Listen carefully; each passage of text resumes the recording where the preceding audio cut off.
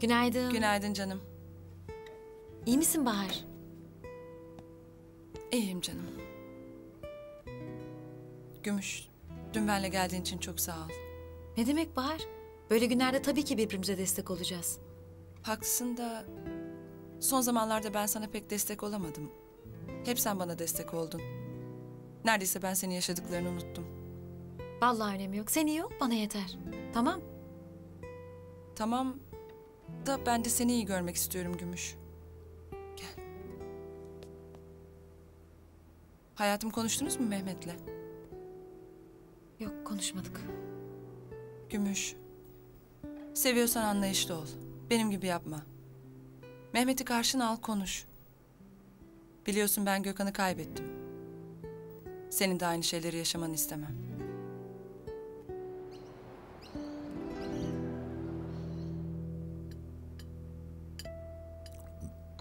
Bahar kızım, Gökhan niye gelmiyor? Gelsin o da kalsın burada evladım. Ee, gerek yok dedeciğim ben zaten akşama gidiyorum. Öyle mi? Kalsaydın ya kızım. Ne güzel büyük bir aile olmuştuk. Burada zor oluyor. Zaten bakıcı kıza da ters burası. Rahat rahat gidip gelemiyor. Sen bilirsin kızım. Didem Hanım da güzellik uykusunda galiba. Her zamanki gibi. Gümüş kızım. Mehmet nerede? Giyiniyor dedeciğim gelir şimdi. Günaydın. Afiyet olsun ben işe gidiyorum. Oğlum iki lokma bir şey yeseydin. Anne canım istemiyor sağ ol. İstersen sandviç yapıp vereyim. Yolda yersin oğlum. Sağ olun zahmet etmeyin hiç gerek yok. Ofiste atıştır hiç olmazsa.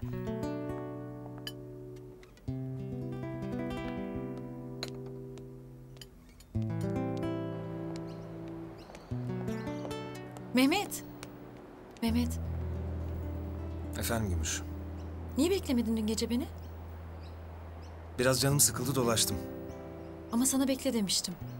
Gümüş konuşmak için geldim. Ama her zamanki gibi uyuyor numarası yaptın. Artık bu tavırlarından sıkıldım. Tamam. Bu akşam konuşsak herhalde ikimiz için de çok iyi olacak. Olur. Sana iyi günler. Sana da iyi günler. Hemen hesaba geçecek değil mi? Teşekkür ederim, iyi günler. Hakkını nasıl ödeyeceğim bilmiyorum Fikri. Birlikte uzun ve mutlu yaşayalım diye dua et bana yeter. Onu hep ediyorum zaten. Ama bu mesele başka. Kızımı büyük bir dertten kurtardın. Allah senden razı olsun. Sana canım feda Dilruba.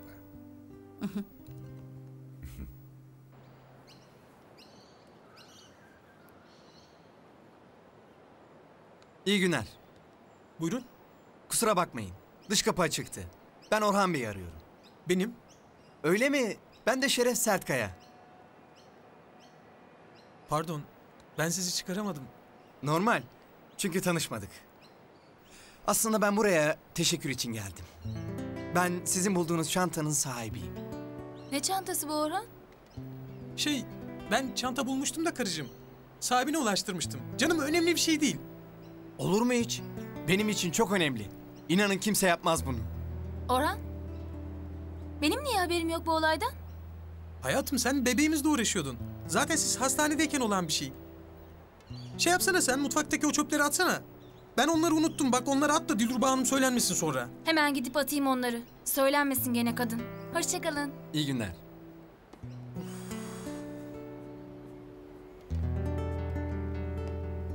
Oh.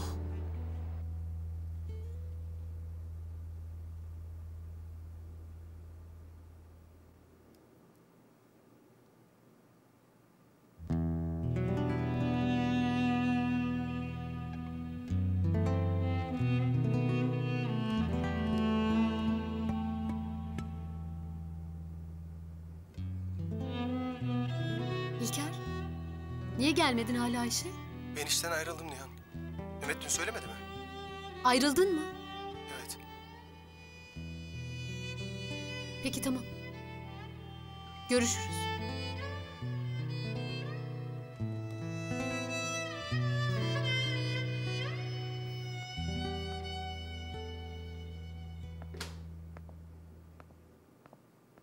Ne yaptığını sanıyorsun sen Mehmet?